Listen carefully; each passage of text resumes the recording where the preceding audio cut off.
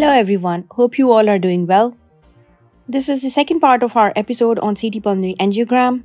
In this episode, I'll share with you several cases and examples of how various types of artifacts affect the quality of CT pulmonary angiogram, the knowledge of which is essential for accurate interpretation of these studies. We'll also learn how to identify them, what measures can we possibly take to avoid some of these in future. So let's begin. Let's look at the first example. So what do you think is the how is the quality of the scan? Look at the pulmonary tree. I mean, its contrast density is very similar to every other thing on the scan, isn't it? So I don't think this contrast opacification is enough. Let's measure its Hounsfield units. Okay, where is ROI? Yeah. So it's about 162, so which is far less than what we would normally like. Like I said before, it should be at least 250, the Hounsfield units. So what do you think is the reason for this poor contrast opacification? Well, like I said before, there could be several reasons. But are there any reasons that we can find on this scan? Let's look at the images where which were used to put the ROI to do the bolus tracking. Well, what do you think is happening here?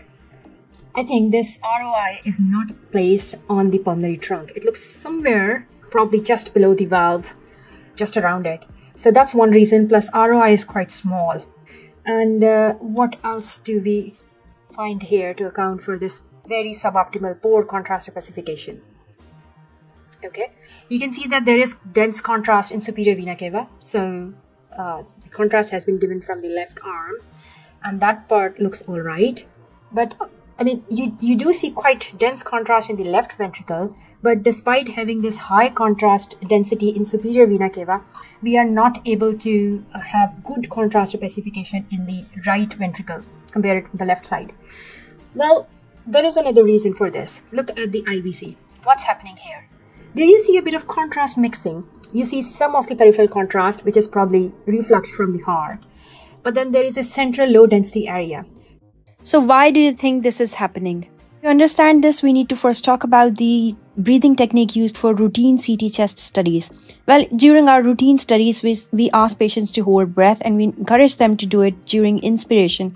The reason is with inspiration, the lungs expand, and that's exactly what we need to assess the lung parenchyma for any pathologies. But this technique does not work very well for CT pulmonary angiogram. What do you think is the reason? Well, if the patients take in deep breath, during CT pulmonary angiogram, you can imagine that the expansion of thorax reduces its pressure. This reduced intrathoracic pressure then draws in venous blood back to the heart, and this affects inferior vena cava more than superior vena cava. The contrast filled blood from superior vena cava then mixes with unopacified blood from the inferior vena cava, and when both of these mix within the right side of the heart, you might not be able to see optimum contrast opacification in the main pulmonary trunk. How do you think this can be avoided? Well, it's simple. Ensure that you have a communication with radiographers who are performing CT pulmonary angiograms to tell them about the significance of phase of breath holding on the quality of CT pulmonary angiogram. These hemodynamic changes adversely affect the quality of the scan and ideally patients should not be holding their breath during inspiration for a good quality CT pulmonary angiogram. Some people suggest uh, it's better to use uh, to breath hold during expiration. Some people do that because you can imagine that with expiration, the intrathoracic pressure would increase, which would reduce the preload with less chances of mixing of contrast filled blood with the unopacified blood from inferior vena cava, but generally it is recommended to be not specific about either extreme side of the respiration. So ideally, the patients should hold their breath in normal breathing. Well, breath holding is definitely very important because without that, we would uh, face a lot of uh, respiratory breathing artifacts.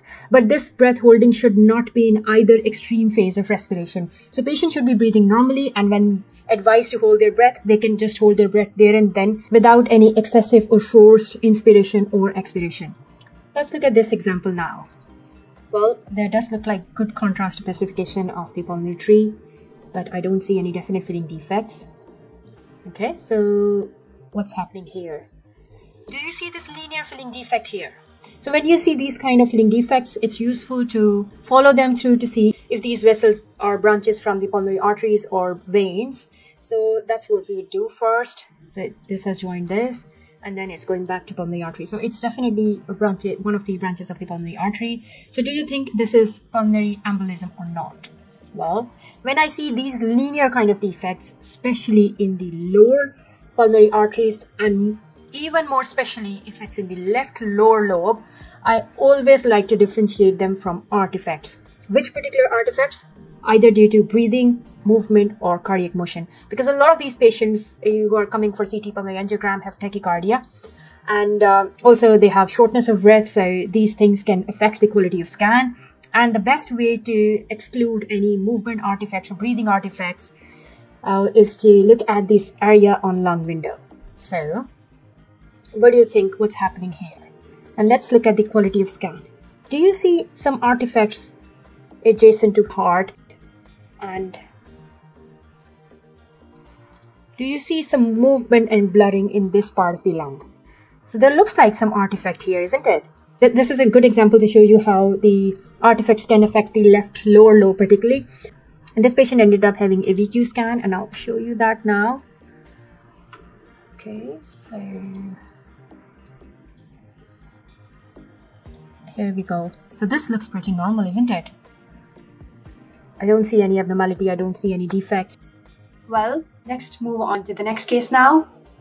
Well, this is a good example, I think, to show you the streak artifacts related to dense contrast in superior vena cava. Uh, so it, it, in these cases, it's useful to look at multiple planes and uh, know about this artifact. Some people, like I said before, use saline bolus to get rid of these artifacts after contrast administration. Again, you can see a bit of uh, odd contrast phasing. You can see that the contrast in the pulmonary trunk is not as dense as anywhere else. In fact, in, if you look at the left lower lobe, in fact, both lower lobes, you can see that the pulmonary veins are more densely opacified with contrast than arteries. This makes the study suboptimal. And again, the reason is some some mixing of the unopacified blood from inferior vena cava with contrast coming from superior vena cava because of uh, imaging during peak inspiration. Okay, another example where uh, you can see good contrast opacification of the pulmonary trunk, but uh, just eyeballing it looks like the main pulmonary trunk is dilated. Okay, so let's look at the other features now. Uh, we don't see much of contrast. Reflux in IVC. Yeah, let's measure the ventricular diameters now. Let's look at the, let's measure the left ventricular diameter first, which is about 5.1 centimeter. And uh, the right ventricular diameter, I think it's maximum here, it's about 4.5. So it's not greater than the left ventricular diameter. So in this case, we wouldn't say that there are any signs of increased right heart strain. Well, um, I mean, like I said before, we need to measure the maximum short axis diameter of both chambers. And it may not even be on the same plane.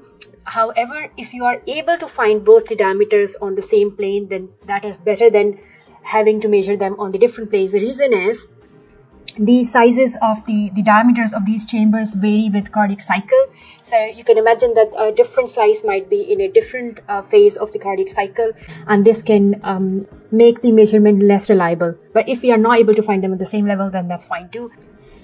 Okay, so that's that.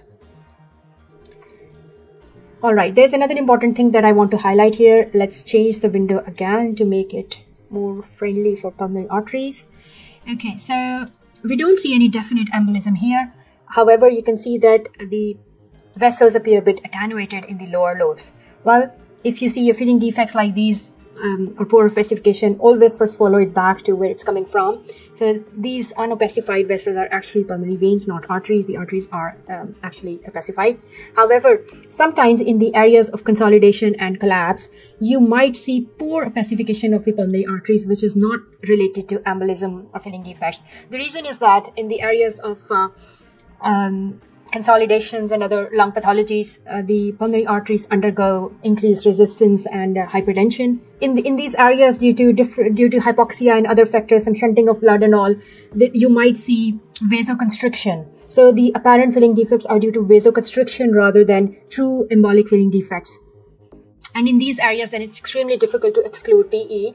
However, uh, most of the times these would be very subsegmental uh, divisions and uh, you just need to mention them that in the report that you're not able to confidently exclude PE at the subsegmental levels and many times the clinicians would not like to repeat the scans because the emboli at that lower level sometimes not very relevant um, because these patients are going to get managed conservatively anyway. Okay, so as usual, we would look at the lung windows. Oh, bring it down first.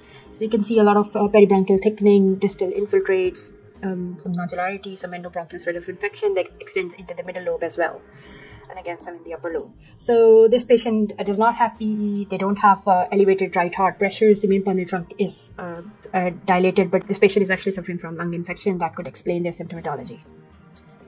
All right, let's move on to our next example. Well, again, you can see that the contrast opacification in pulmonary tree is suboptimal. It was actually 166 Hounsfield units, which is well below our uh, preferable value of uh, 250 Hounsfield units.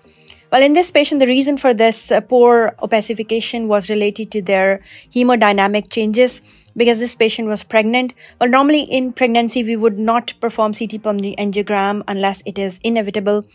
Um, so uh, it is quite challenging to do the study during pregnancy because of um, all the hemodynamic changes related to hemodilution and then uh, changes in blood pressure, heart rate, um, breathing, all these factors together with hormonal changes, they all impact the quality of scan. And generally, these studies are uh, suboptimal to start with. This is an ex interesting example of how flow parameters are affected by variant vascular anatomy. So you can see that the contrast opacification in the pulmonary trunk is quite dense and uh, actually looks quite optimum. However, if you look at the lower lobe pulmonary arteries, it becomes quite low density, isn't it? I don't think in the lower lobes it's adequate for uh, optimum image interpretation. What do you think is the reason? Let me make it a bit smaller. Okay, there you go.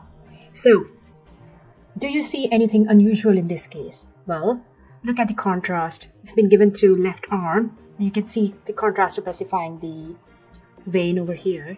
But did you see it's not joining the SVC on the right side?